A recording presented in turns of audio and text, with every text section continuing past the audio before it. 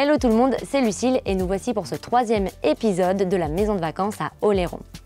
Pour ne rien rater, je vous invite à vous abonner et à activer la cloche. Nous pouvons dès à présent nous concentrer sur la troisième pièce, donc la salle de bain principale. Et en bonus, à la fin de la vidéo, je vous donne ma petite astuce perso.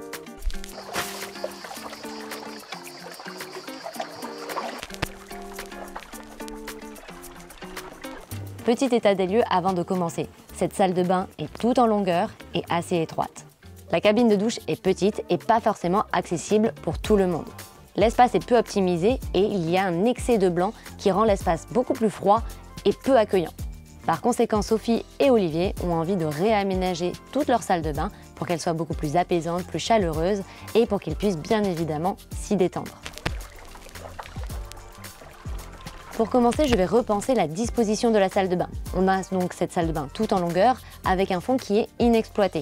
Je vais donc l'utiliser pour créer une douche à l'italienne sur toute la largeur et par conséquent garder les arrivées et sorties d'eau pour que ce soit moins coûteux pour Sophie et Olivier. L'espace de, douche... J'ai fait de l'orthophoniste. L'espace de douche est maintenant donc plus accessible et plus confortable. De plus, la paroi en verre permet à la lumière naturelle donc venant de la fenêtre de traverser la pièce. On a un espace donc beaucoup plus lumineux. À l'intérieur de la douche, j'ai également créé un décroché donc en placo avec du carrelage dessus pour pouvoir y déposer quelques produits. Juste à côté de la douche, je vais venir créer des étagères directement encastrées dans le mur, ce qui va créer une continuité et donner ce côté brut et organique à la pièce. On va bien sûr pouvoir y ranger du linge de bain par exemple. Pour le meuble vasque, je choisis le même que j'avais mis donc dans la suite parentale pour créer une homogénéité. Mais ici, je ne viens pas mettre une seule vasque, je viens en mettre deux puisque j'ai assez de place. pour le sèche-serviette, je l'ai placé au milieu du mur, entre la douche et le meuble vasque. Comme ça, il sera beaucoup plus pratique quand on voudra sortir de la douche ou encore s'essuyer les mains. Pour cette salle de bain, le maître mot est minéral. C'est une ambiance que l'on retrouve dans les deux premiers épisodes. L'élément fort de la décoration ici est encore le carreau de ciment. Avec cette teinte bleue, ils vont venir faire écho à ceux du salon et ceux donc positionnés dans la suite parentale. L'élément différenciant va être le motif qui va donner une identité propre à chaque pièce.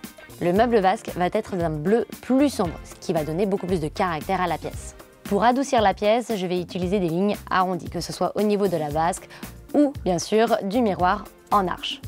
Cela permet d'avoir donc une atmosphère également beaucoup plus accueillante et plus organique.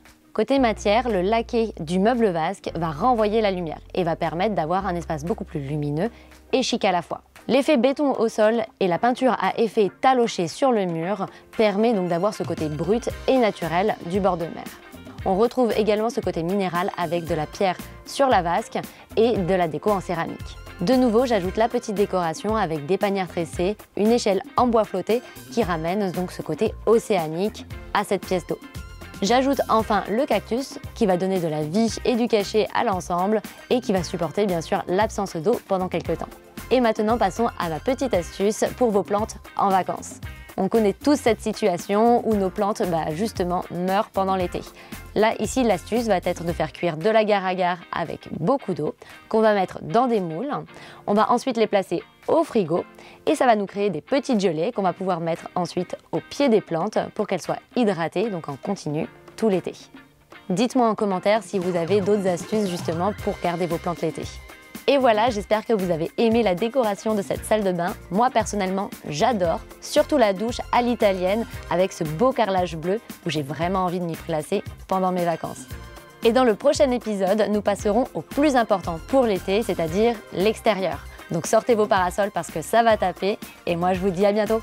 Ciao